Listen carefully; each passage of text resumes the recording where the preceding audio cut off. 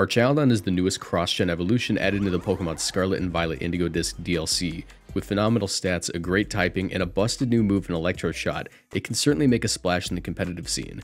But just how will you run it? Let's go over some ideas in today's moveset guide. If you enjoyed this, be sure to leave a like and subscribe because I make tons of competitive Pokemon content just like this. Now let's get into the video. Alright, welcome to the first moveset guide for the uh, DLC. Archaludon is the first one we're going to cover. Uh, some of you guys might, you know, be asking when are we going to cover the new Pokemon that were revealed, like the other paradoxes, or like the two unrevealed paradoxes. I'm not going to give the names because uh, I have a spoiler policy on the channel. Basically, for the first week of the DLC, uh, I'm only going to be covering content that was revealed in trailers and that we knew was coming.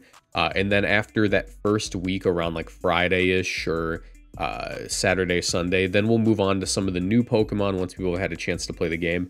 But yeah, uh, we're going to start off with Archaludon. Uh, it's a Pokemon that a lot of people were pretty excited for. It's the evolution of Duraludon. Uh, it has a pretty impressive base stat total of, I believe, 600. Uh, it's not on Showdown yet currently, so we'll be using slides to actually display the movesets. But yeah, uh, Archaludon's a Steel Dragon type. It has some pretty great stats, 90 HP, 105 attack, 130 defense, 125 special attack, 65 special defense, and 85 speed. I honestly thought they were going to Kingambit this guy. I thought that they were going to lower the speed of Duraludon, get him like an insane HP stat, like really, really good defense and really, really good special attack. Uh, but as it turns out, they kind of just added some points here and there. Um, its, its speed just stays the same, which I found insane. Uh, but regardless of that, it's still going to be a pretty decent Trick Room on, uh, and it's a pretty impressive Pokemon overall. But yeah, before we get into it, if you guys enjoy, leave a like, subscribe, turn on notifications. Uh, we're going to be doing movesets for all the new Pokemon that dropped in this DLC. And let's get into it. So the first moveset is going to be uh, an Assault Vest moveset. Now, our Archaludon is a pretty phenomenal Assault Vest user because of its decent HP stat at 90, its really high defense stat, uh, and it's not like the low special defense isn't what makes it a good assault vest user. It just makes it a good candidate for the assault vest because uh, you're going to want to like make sure you're not taking as much from Moonblast.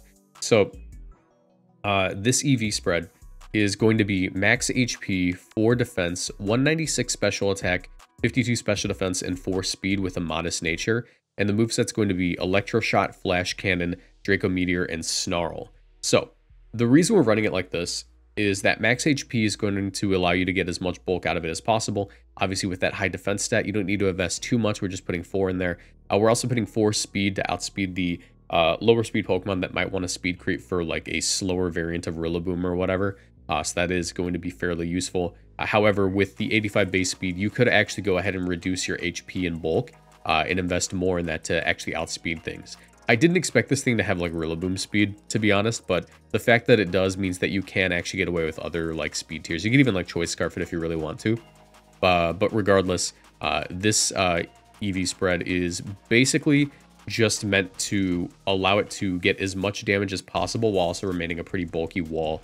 So you would want to pair this guy typically with uh, a rain setter for the electro shot uh, to go in one turn, and maybe like a Rillaboom actually. Rillaboom will allow you to pretty reliably get Electro Shot off, uh, while also giving you recovery uh, and reducing damage from Earthquake if you actually run into a Pokemon that uses that nowadays.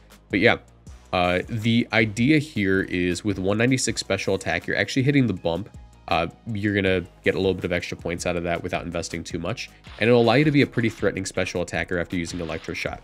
Uh, if you don't know, Electro Shot is the base 130 uh, power special move that is this thing's signature move. Despite it not being a stab move, it is pretty impressive because it's effectively Meteor Beam. Uh, if you don't know how Meteor Beam works, it works exactly the same as Meteor Beam, but with a different added on thing. Uh, Meteor Beam was a rock type move that is now back as a TM.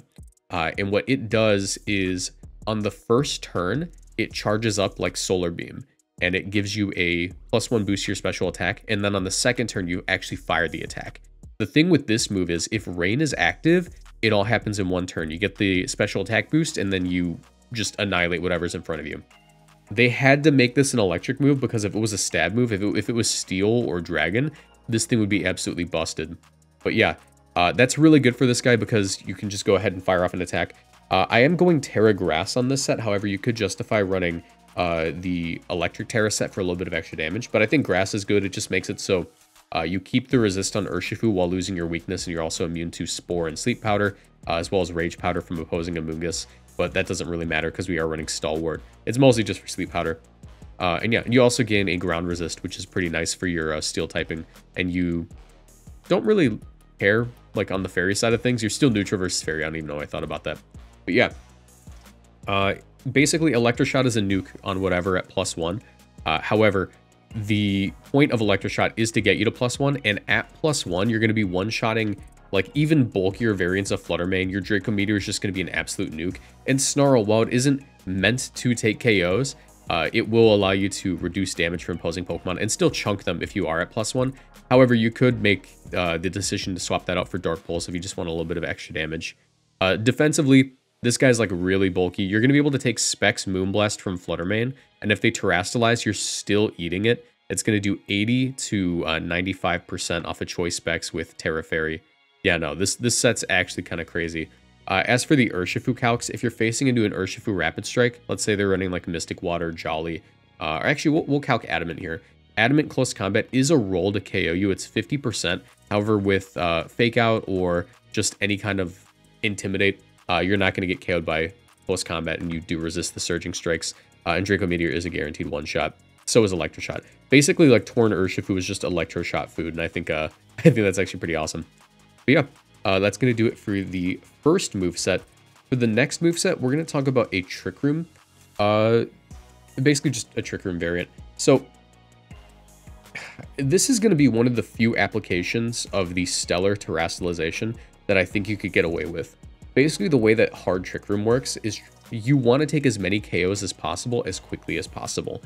And by using the um, Stellar Terastallization, even though you don't maintain the boost on all of your moves, you don't get anything defensively, getting one major boost on each type of move is something that you would actually like for Archaludon. So we're going to run just max HP, max special attack, 4 special defense, quiet nature, 0 speed IVs uh, with a life orb. And our ability is going to be Stalwart. And we're running Electroshot, Flash Cannon, Draco Meteor, and actually Tera Blast. However, you could swap that out for any other coverage, Dark Pulse, whatever. I just think that the Tera Blast is going to be a pretty cool uh, option for uh, defeating just opposing Teras. It's actually really decent into like Indeedee Armarouge. Since you are Stalwart, the Indeedee can't redirect away your attack. And if they want to go for like a Tera Grass in front of a partner Pokemon uh, who's going to use like a water type attack, let's say you have an Urshifu next to it, you can just double into it uh, and they're going to have to eat the uh, Tera Blast and it's going to drop them because it's going to be special or it's going to be uh, super effective versus their Terastallization. But yeah, uh, the idea here is you go for the Stellar Tera, and after the Stellar Tera, what ends up happening is you get a boost to literally all of your attacks, right? So your Electroshot becomes a nuke. We'll calc it versus like a standard Indeedee Trick Room support set. Electroshot with the Stellar Tera is going to be doing 98% at plus one with that Life Orb. Uh, so if they're not running like a lot of F, or if they're not running, you know, like um, or sorry, that's versus uh, Psychic Seed Indeedee. If they're not running Psychic Seed, if they're running any other item, it is just a guaranteed one shot versus Indeedee, and that's kind of insane. But yeah, the rest of the moves just become nukes. You you know hit things with Flash Cannon at plus one, it KOs them. Hit things with Draco Meteor at plus one, it KOs them. This guy's like really scary. The only downside is you're not running the Grass Tera, um, and that's going to make it so you end up having to deal with Amoonguss in some other way. You need to fake out. You need to maybe use like Follow Me Ogerpon uh, to redirect away the spore. I don't know, you, you have your options there. But uh, the basic idea for this guy is just set up the Trick Room, get going, and start taking KOs, as you do with Trick Room sets. The next move set that we have is one that doesn't use Stalwart, but rather uses Stamina. So, despite Archaludon being like a really, really, really, really good candidate for the uh, Assault Vest item because of its low SpDef, you can actually invest enough SpDef where you just tank the uh, Fluttermane Moonblast with choice specs. And that's what this set aims to do because it allows you to run leftovers and stamina. The way stamina works is it makes it so that every time you get attacked by a physical move, um, or it might be a contact move, I forget, you get plus one defense every single time. So if you switch in on an Urshifu Rapid Strike Surging Strikes, plus three defense instantly. Like that's really, really useful, especially considering you resist Surging Strikes. You're not going to care about anything else that Urshifu wants to go for. Uh, so yeah, this set is running max HP, 108 defense, 36 special attack, 108 special defense, and 4 speed with a modest nature, and Tera Water. Our moveset is Snarl, Flash Cannon, Draco Meteor, and Breaking Swipe. However, you could drop either Snarl or Breaking Swipe for a Protect to allow you to a little bit uh, to allow you a little bit more longevity with leftovers. And yeah, uh, this moveset is just defensively inclined. That uh, the Moonblast from the Flutter Mane off of specs is doing 99% maximum. However, if you want to go Tera Poison, you can get even more resistance off of that. Uh, into the only really like powerful fighting type you need to worry about one-shotting you, Urshifu Rapid Strike. Uh, the close combat is going to do 91% maximum. And then if you switch it on Surging Strikes and you end up getting up to plus 3 defense, then the close combat will only be doing 37% maximum. And you can just like take a ton of damage on them with Draco Meteor.